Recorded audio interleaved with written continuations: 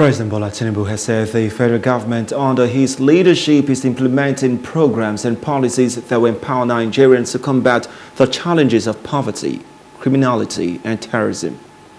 Represented by Vice President Kashim Shettima at the passing out parade of cadets of 70 regular corps of the Nigerian Defense Academy NDA, NDA in Kaduna State on Saturday, the president said the programs were part of a new national defense and security strategy by his administration. According to him, the initiative will be driven by resolute commitment to confront the substantial security challenges that are threatening Nigeria and the West African sub-region. This academy attracts the most ambitious amongst us to train them and reintegrate them into society.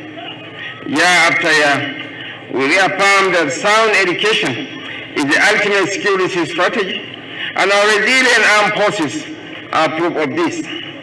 This prize legacy, thankfully, is one to which we are not only the testifiers.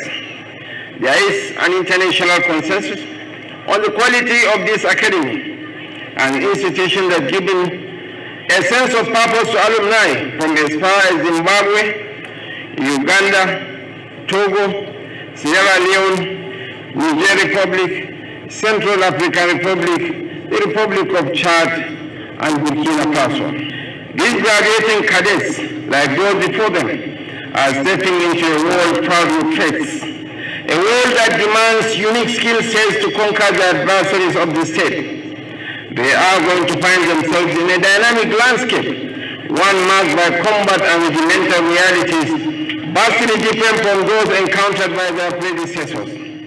Our hope is why we gather here today our hope is this spectacular proof that they have received superior training that equips them with a distinct advantage to safeguard the nation's security and advance our collective future.